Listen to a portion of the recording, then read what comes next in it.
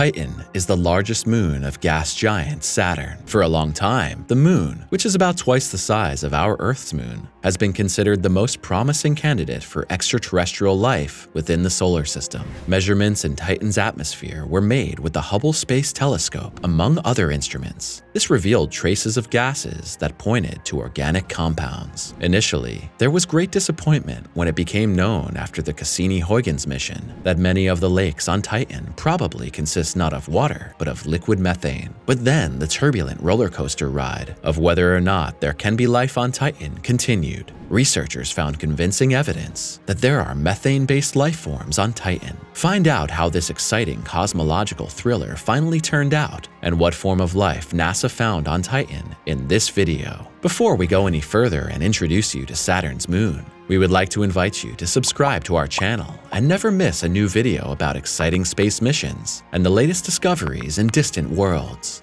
If you liked the video, we would of course also appreciate a thumbs up.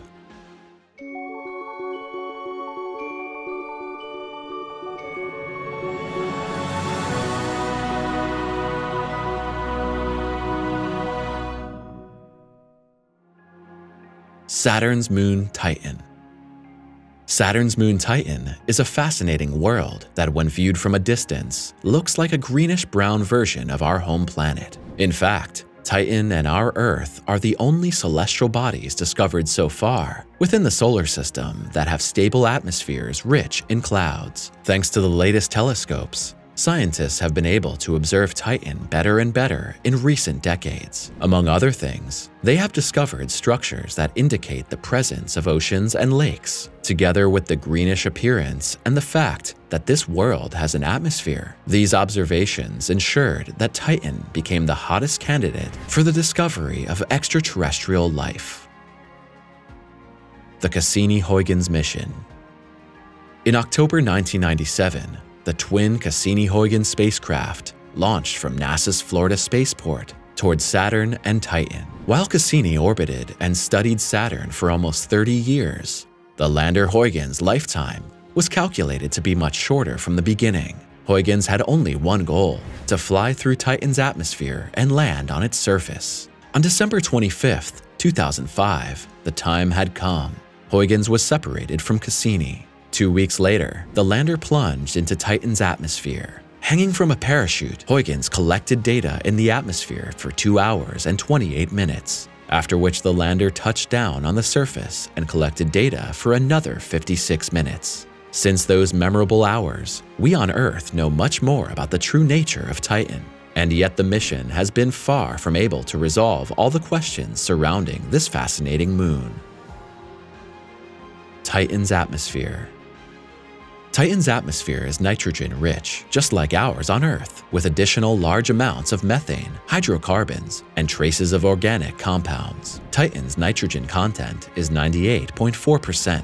Oxygen is completely absent from the atmosphere of Saturn's moon. Methane is predominant in the upper layers of the atmosphere due to its low density. Remarkably, many organic compounds like ethane, propane, ethine, and hydrogen cyanide were found. Furthermore, Huygens could detect traces of helium, carbon dioxide, and water. Although nitrogen plays a major role in the terrestrial cycles that make organic life possible, the atmospheres of Titan and our Earth thus differ significantly in the fact that no oxygen is present on Titan. What did Huygens find on Titan's surface? Huygens was the first probe to land on a moon that was not Earth's moon. The moons of the gas giants Saturn and Jupiter did not arouse the great interest of NASA or other space agencies at first. Only when it became known that Titan resembles the Earth in such a strange way did international interest increase. Since then, probes and telescopes have found numerous other moons around the gas giants that have unique surface conditions, volcanism, and traces of water, quite unlike the gas giants, which themselves are barely composed of solid materials. The moons of these planets are rocky worlds, just like our Earth. When Huygens landed on Titan, a reddish and rugged landscape of rocks and cliffs appeared, along with evidence of coastlines. Measurement data from Hubble and Cassini confirm the presence of an ocean on Titan. Titan's surface is a dark brown reddish color due to deposits of organic material. The ground on which the probe touched down consists of polluted water and hydrocarbon ice, similar in consistency to wet sand or clay. Huygens was able to detect minor deposits of methane trapped in the soil shortly after landing. Either the heat and weight of the probe thawed the soil, releasing the methane, or the rising methane is part of Titan's natural gas and liquid cycles. Just as water vapor rises from the ground or bodies of water on Earth, then form clouds, and the water falls back to the ground as rain, methane cycles could exist on Titan. After analyzing the data from Huygens and Cassini, increasing evidence emerged that Titan's lakes are actually filled with liquid methane rather than liquid water. Methane is a colorless gas that occurs on Earth in the form of natural gas and biogas, among other things, and is used as an energy source. In nature, Swamps and forests can produce larger amounts of methane. Man-made methane comes from rice grown in landfills and from the digestive tracts of cattle. Methane, along with carbon dioxide, nitrous oxide, and CFCs, is one of the long-lived greenhouse gases and is a major influence on the man-made greenhouse effect on Earth. Does all this speak against life on Titan after all? The disappointment was at first large. On Earth, many scientists had imagined that there could be methane-based life, but soon other voices were raised, claiming that exactly that was possible. With our very limited view of the universe with all its fantastic phenomena, how would we know for sure that there are not species somewhere whose organisms function with methane instead of water and who can breathe pure nitrogen instead of oxygen? Opponents of the theory that there must be at least primitive forms of life such as bacteria or algae on Titan sometimes like to argue that Saturn and Titan are far outside Earth's habitable zone.